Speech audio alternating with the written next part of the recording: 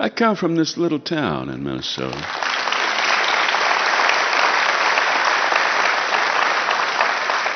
It's in the geographic center of the state. It's why it's not on any maps because they surveyed Minnesota from the four corners. And when they got to the middle, they discovered that they had more of the state than there was room for within the boundaries, some of which were rivers and couldn't be fudged on. So they had to overlap the inner corners, and my town wound up on the bottom flab. It's a place where every year in January and February, nature makes a serious attempt to kill you. so we are kind of partly New Age and partly Ice Age.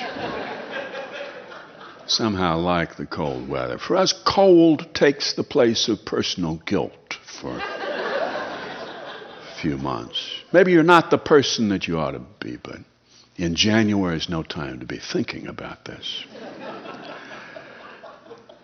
After January and February comes March, of course, a month which was designed by God for people who don't drink to show them what a hangover is like.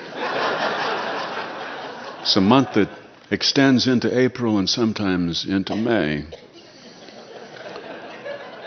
It's in March of 1851 that the first Norwegians arrived in Lake Wobegon. They'd come over on account of the great herring famine previous winter. And they'd wandered across America heading west, and they were stricken with this wrenching homesickness, and they came to Minnesota and to Lake Wobegon, and they saw land that reminded them of Norway, and they settled there, forgetting that the reason they had left Norway was that the land was so poor.